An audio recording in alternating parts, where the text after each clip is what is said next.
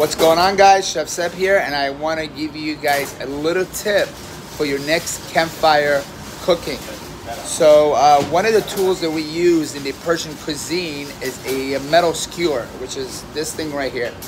These skewers are about 24 inches long and they're great, ideal for uh, to use to uh, grill your meats.